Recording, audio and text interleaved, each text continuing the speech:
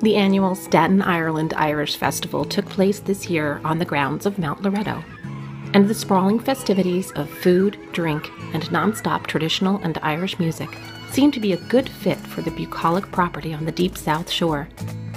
The Irish Festival includes an award ceremony each year on Saturday. However, the folly happens over two days, typically in early June, rain or shine.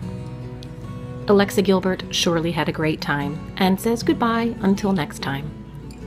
This is Pamela Silvestri with the Staten Island Advance.